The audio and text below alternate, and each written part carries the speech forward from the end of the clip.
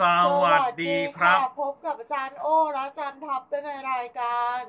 องค์เทพสมดวงสำหรับรายการของเราในรอบนี้ ก็มีท่านอาจารย์โอ มาเป็นประธานในรายการอีกแล้ว ท่านอาจารย์โอก็จะมาเล่าให้ทุกคนฟัง ว่าร่างทรงเนี่ยเกิดมาใช้กรรมก็จริง แต่ว่า คนที่จะทำตรงนี้ได้เนี่ยจะต้องเป็นสัญญาระหว่างคนกับเทพมาแต่เดิม ไม่ใช่ว่าใครจะมาเป็นร่างทรงก็ได้ ไม่ใช่นะ หลายคนคิดแบบนั้นนะ แต่จริง ๆ แล้วร่างทรงระหว่างคนกับเทพเนี่ย มันเป็นสัญญาเก่า สัญญาแก่นะและมันคือสัญญาที่สร้างมาแต่เดิม ทั้งหมดทั้งมวลนะ คนไม่ค่อยเข้าใจกัน คนบอกว่าทำไมกูต้องมาเป็นร่างทรงเนี่ยวะนะ มันเป็นยังไงว่าร่างทรงแล้วมันลำบากเหลือเกินนะ จะทำยังไงให้เข้าใจถึงปัญหาที่เกิดขึ้นทั้งหมดหนึ่งต้องหาแนวให้เจอ แนวของเราคือเราอยากจะทำอะไร ไม่ว่าจะเป็นปรุงยาสมุนไพรดูดวง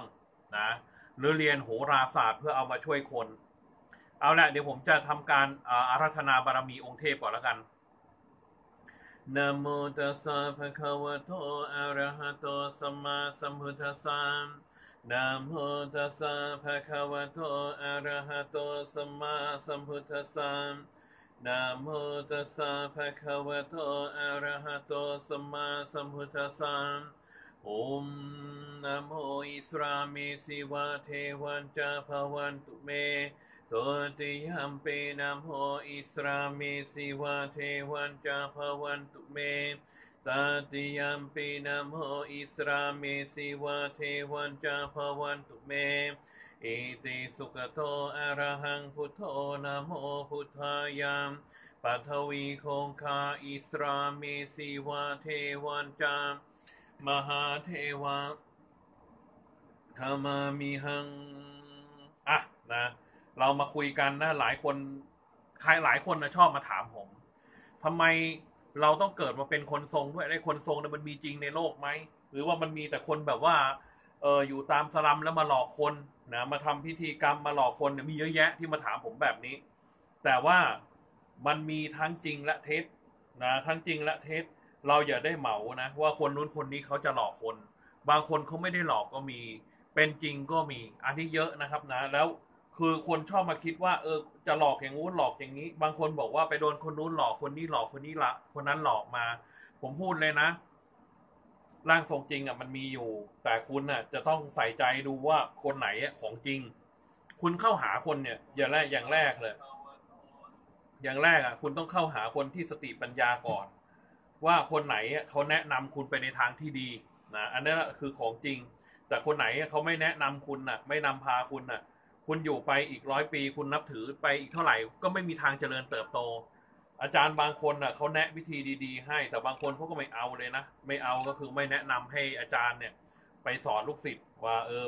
ห้ามไปดูดวงนะอาจารย์ อาจารย์ได้ฟังอาจารย์ก็ยังไม่อึ้งนะเขาหมายถึงว่าอืมอาจารย์ของลูกศิษย์คนนั้นน่ะอืมเอ่อคือเขามีอาจารย์กับลูกศิษย์ใช่ไหมตัวลูกศิษย์เนี่ยอืมก็เป็นคนที่สวดมนต์อื มก็บอกว่าเออช่วงนี้สวดมนต์บ่อย อาจารย์อาจารย์เขาเลยบอกว่าไม่ต้องไปสวดมนต์หรอก อืม และอีกอย่างหนึ่งอย่าเขาเขาอยากจะดูดวงช่วยเหลือคนดีไหมค่ะเอออาจารย์ตัวอาจารย์อะ ก็บอกว่า อย่าไปดูดวงเลย อืม อืม อืม ให้ไม่ให้ดูดวง ซึ่งมันเป็นเรื่องของการช่วยเหลือคนมันก็เป็นบุญ ไม่ให้สวดมนต์อืมก็ไม่ให้ไม่ให้ลูกศิษย์สร้างบารมีสร้างบุญให้ตัวเองอืม ยังไงคะ คือมันเป็นไปไม่ได้ลูกศิษย์ต้องสร้างบารมีโดยธรรมชาติอยู่แล้ว แล้วทุกคนน่ะ ที่มาเกิดเป็นคนทรงหรือเกิดมาแล้วเป็นคนทรงเนี่ย ต้องล้วนแล้วแต่หาวิธีที่เป็นของตัวเอง เพื่อมาช่วยคนในโลก เพราะฉะนั้นน่ะเอ่อวิธีแต่ละวิธีนั้นน่ะมันเป็นความสามารถที่แต่ละคนนั้นฝึกฝนมาในอดีตชาติณชาติปัจจุบันนี้พอกลับมาเสร็จก็มาทำได้อีกทีหนึ่งไม่ใช่ว่า ไม่ใช่ว่าสิ่งที่เราคิดว่าเราได้เรียนมาเราจะได้ใช้ตลอดไป แต่ว่าบางทีไอสิ่งที่เราไม่ได้เรียนมาจะได้ใช้ก็ยังมีอย่างผม ใช่ อย่างอาจารย์โอเนี่ยยังไม่เคยเรียนครอบคนมาอะไรมานะผม ฝึกมาแป๊บเดียวอาจารย์โอเป็นเลยเพราะว่าอะไรเขาเรียกว่าสัญญาเก่า นะ โอ้ยังจำไม่ได้เลยว่าครั้งแรกที่โอ้ครอบเสียงคนให้ใคร อืม อืม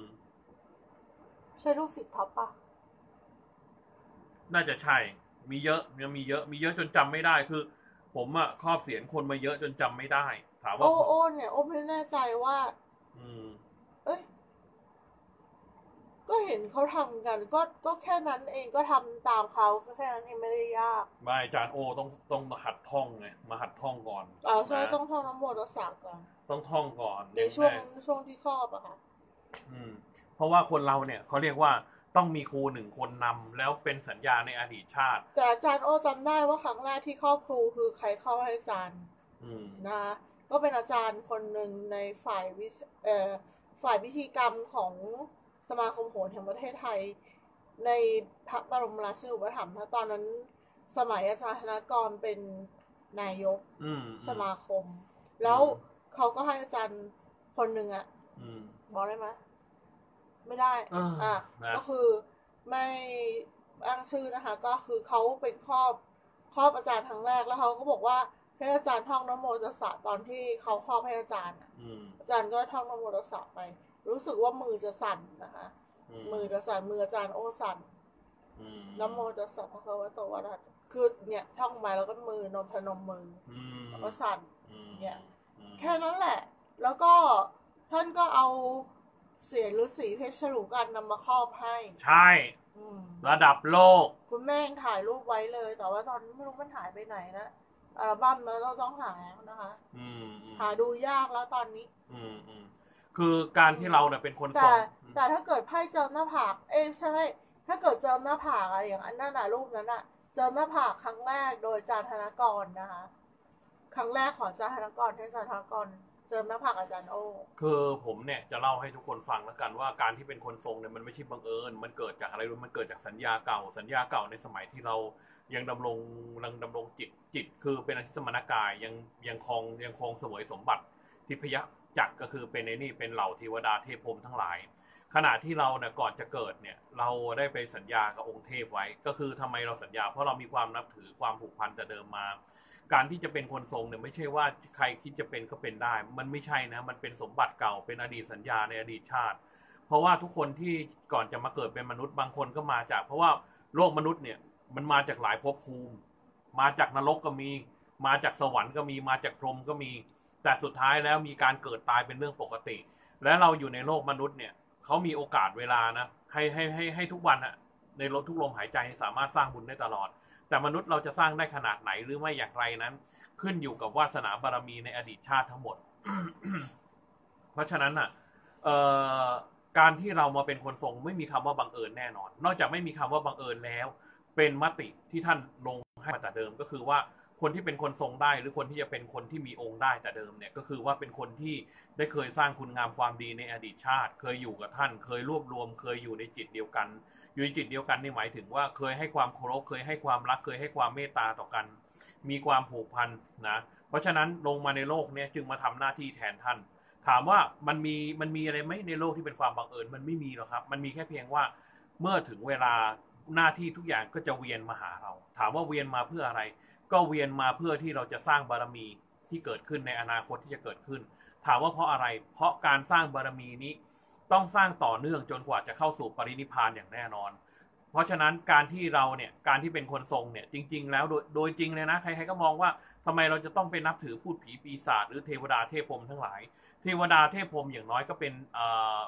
ที่เสวยสุขอยู่ในความดี มีคุณงามความดี มีบุญแต่เดิม ในการที่จะสร้างบุญวาสนากับเราในอดีตชาติมา เพราะฉะนั้นอะ การที่เรามาสร้างอย่างกับท่านทั้งหลาย หรือเราเป็นคนทรง หรือเราเป็นคนที่เรียกว่า ได้สร้างชื่อรวมกับท่านอะ จึงพึงสังวรได้ว่าเราเนี่ยมีวาสนาระดับหนึ่งที่จะสร้างบุญกับท่าน เพราะฉะนั้นอะคนหลาย ๆ คนอะที่เป็นบอกว่าทำไมเป็นคนทรงแล้วไม่เห็นวิเศษอะไรจริง ๆ วิเศษอยู่แล้วครับ วิเศษหนึ่งมีมีเทวดาคอยหนุนนำวิเศษสองคือ มีภาระหน้าที่ที่จะช่วยผู้คนนะที่จะให้พ้นจากความทุกข์สามเป็นอะไรเป็นสิ่งเป็นเอ่อเป็นคนที่จันลงจิตใจของมนุษย์ที่กระสายจิตใจกระสายซ่านเซนอยู่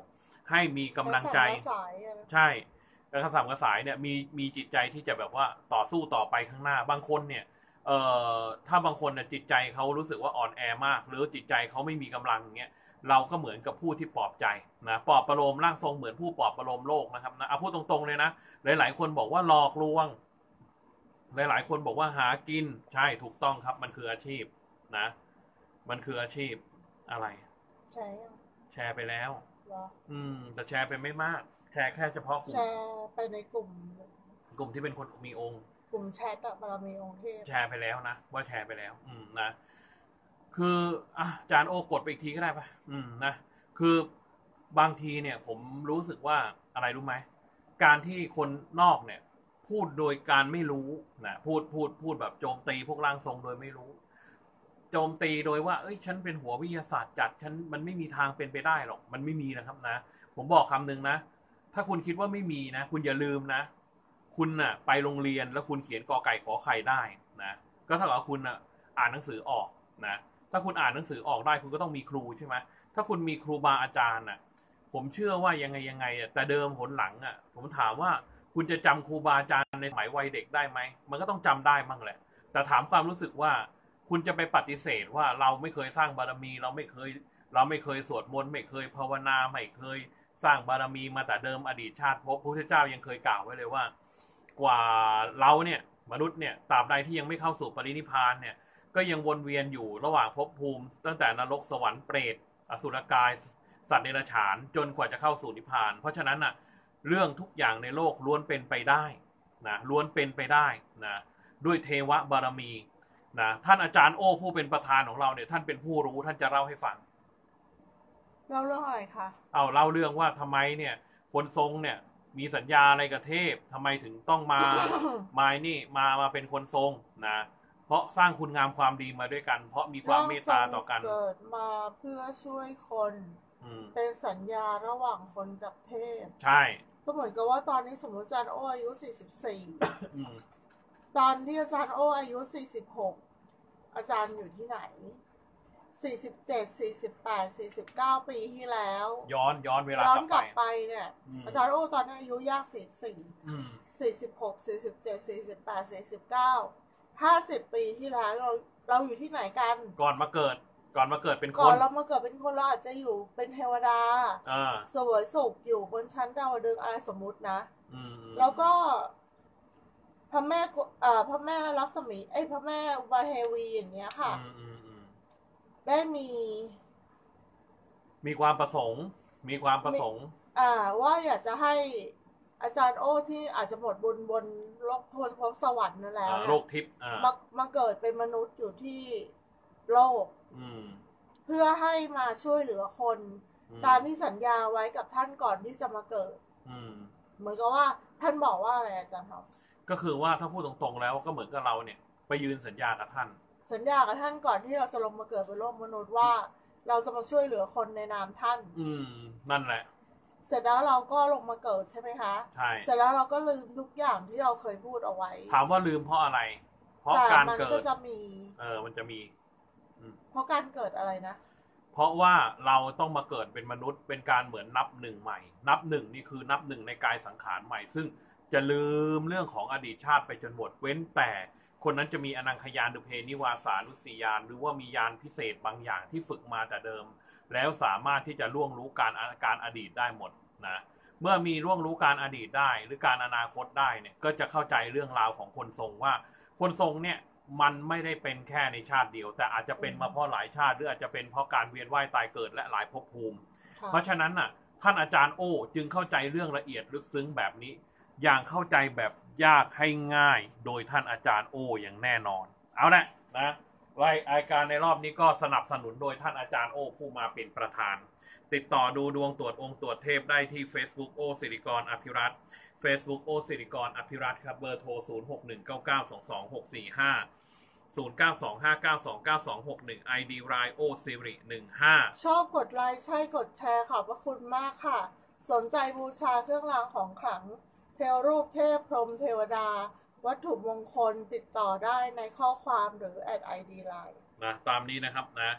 เอาละแล้วผมครับ Facebook ครับ อาจารย์ท็อปนะเมตตรามหานิยมเบอร์โทร 0 8 4 9 2 6 6 6 5 8